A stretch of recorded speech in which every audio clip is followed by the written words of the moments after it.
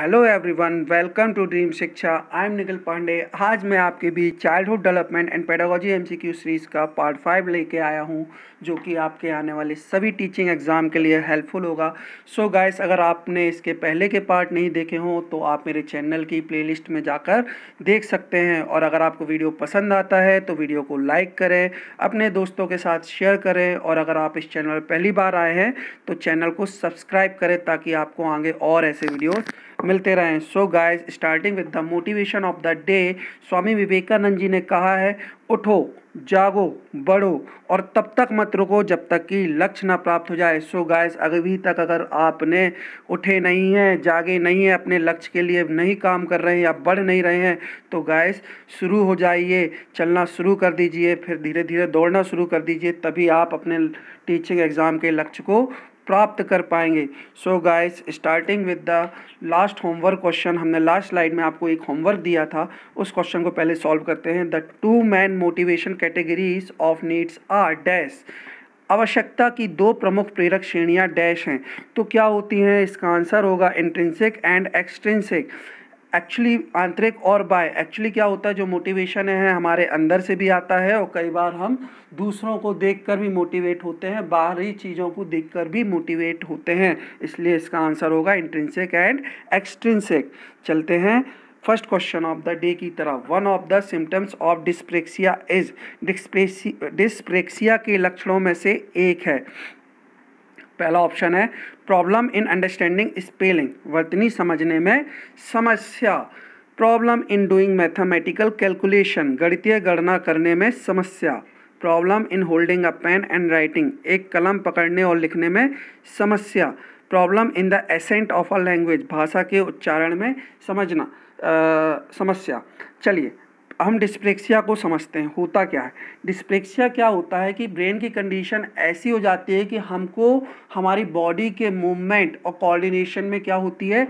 समस्या होने लगती है कि हम उसके कारण कोई भी एक्टिविटीज़ परफॉर्म नहीं कर पाते हैं। तो इसका आंसर होगा थर्ड क्यों होगा? क्योंकि हमसे हमको, हमारा ब्रेन इस तरीके से कोऑर्डिनेट नहीं कर पा रहा है या रिस्पॉन्ड नहीं कर पा रहा है कि हम अपने हाथ में पेन को होल्ड कर पाएँ और लिख पाएँ, है ना? तो ऑप्शन क्या होगा? थर्ड होगा। चलते हैं नेक्स्ट क्वेश्चन की तरफ़। Material for later retrieval is stored in the dash बाद की पुनर्प्राप्ति के लिए सामग्री को डैश में संग्रहित किया जाता है।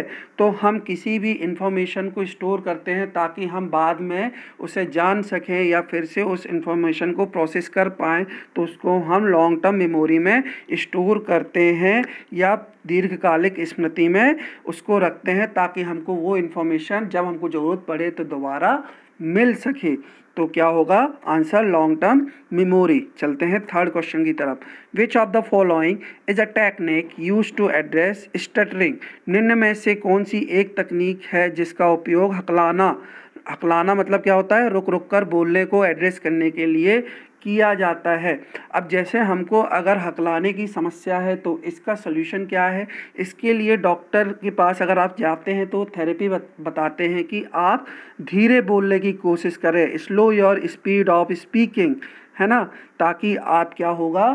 धीरे धीरे जो हकलाना है, वो आपका कम हो सकता है है ना? तो इसका आंसर क्या होगा? लंबा भाषण देना प्रोलॉन्ग्ड स्पीच ताकि आप जब रुक रुक कर धीरे धीरे बोलेंगे, लंबा बोलेंगे तो आपका जो हकलाना है वो धीरे धीरे क्या होगा? कम हो जाएगा तो इसका आंसर होगा प्रोलॉन्ग्ड स्पीच चलते हैं नेक्स्ट क्वेश्चन की तरफ़.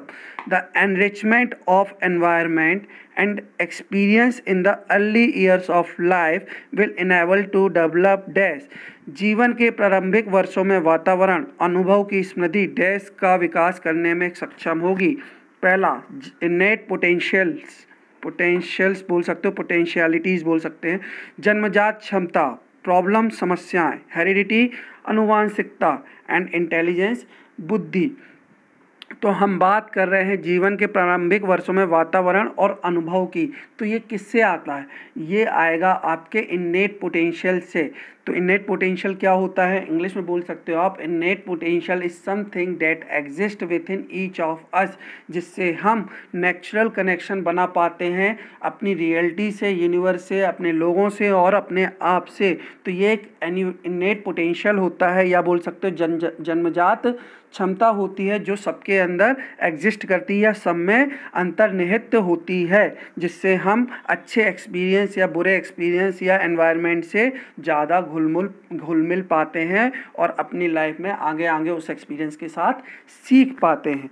चलते हैं नेक्स्ट क्वेश्चन की तरफ़। Achievement in school is most closely related to dash विद्यालय में उपलब्धि डैश से सबसे अधिक निकटता से संबंधित है। द एटीट्यूड ऑफ़ पेरेंट्स माता पिता के व्यवहार द कंडक्ट ऑफ़ स्टूडेंट छात्रों का आचरण द इंटरेक्शन ऑफ़ पियर साथी समूह के, की बातचीत द क्वालिटी ऑफ़ टीचर शिक्षकों की गुणवत्ता।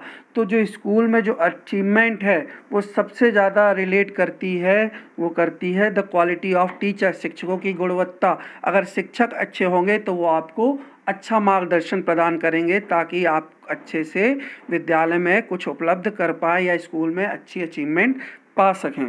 चलते हैं नेक्स्ट क्वेश्चन की तरफ़। Constructivism does not acknowledge the value of knowledge that is निर्माणवाद ज्ञान के मूल को स्वीकार नहीं करता, जो निम्न है। पहला ऑप्शन है पर्सनल व्यक्तित्व सब्जेक्टिव व्यक्ति परक थर्ड ऑप्शन है यूनिवर्सल सार्वभौमिक। और फोर्थ ऑप्शन है इंडिविजुअल व्यक्तिगत। तो कंस्ट्रक्टिविज्म की जब बात करते हो आप तो आप क्या करते हो? एक्टिवली अपने नॉलेज को क्या करते हो? कंस्ट्रक्ट करते हो पार्टिसिपेट करते हो। जो चीज़ आप देखते हो, करते हो, जब आपस में डिस्कशन करते हो तब आपके अंदर वो जो एक्टिवली पार्टिसिपेट करके जो आपको ज्ञान प्राप्त होता है, वो होता है कंस्ट्रक्ट करना नॉलेज को। तो इसमें जो आंसर जो गलत होगा वो यूनिवर्सल आप किसी भी यूनिवर्सल चीज़ को नहीं मानेंगे जब तक कि आप स्वयं अनुभव ना कर लें या स्वयं उस चीज़ को एक्सपीरियंस ना कर लें या परफॉर्म ना कर लें। तो इसका आंसर होगा यूनिवर्सल। बाकी सारी चीज़ें आप अपने परस्पर तालमेल या लोगों से आइडियाज़ लेके अपनी सोच बना के सीख सीख पाते हैं। ठीक है? चलते हैं नेक्स्ट क्वेश्चन की तरफ़। The fear of strangers the children develop is because of dash. अजनबियों का भय जो बच्चे विकसित करते हैं डैश के कारण होता है। तो ये होता है ऑपरेंट कंडीशनिंग के कारण, दूसरा साइन लर्निंग के कारण, संकेत अधिकम तीसरा ऑप्शन है क्लासिकल कंडीशनिंग, चिर प्रतिष्ठित प्राणुकूलन, इनसाइड लर्निंग अंतर्दृष्टीय अधिगम। तो जो फियर ऑफ़ स्ट्रेंजर हमको जो अजनबियों का जो भय बना रहता है, उसका रीज़न होता है क्लासिकल कंडीशनिंग ये क्या होता है? एक्चुअल में क्लासिकल कंडीशनिंग क्या होता है? इससे क्या होता है? हमारे बिहेवियर में क्या होता है? कुछ पुराने एक्सपीरियंस की तौर पे मॉडिफिकेशन हो जाता है। अगर उसका जो एक्सपीरियंस है वो ख़राब रहा होगा, उसे कुछ बच्चों ने पहले बहुत डराया होगा तो वो हमेशा दूसरों से क्या होगा? डरेगा, उसे हमेशा अजनबियों से भय रहेगा। तो ये पार्ट किसका है? क्लासिकल कंडीशनिंग का। ठीक है ना? चेर प्रतिष्ठित प्राणुकूलन। इसलिए इसका आंसर होगा चेर प्रतिष्ठित प्राणुकूलन। और इसकी बात कौन करता है? तो ईवान पल्लव जी करते हैं। किसकी, इसकी बात कौन करता है? ईवान पल्लव जी करते हैं। ठीक है? चलते हैं नेक्स्ट क्वेश्चन की तरफ़।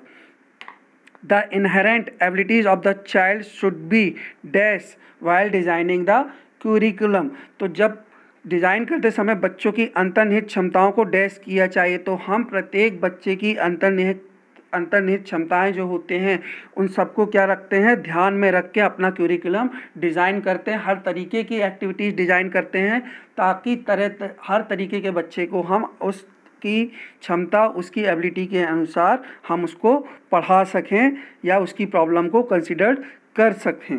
ठीक है? चलते हैं नेक्स्ट क्वेश्चन की तरफ़।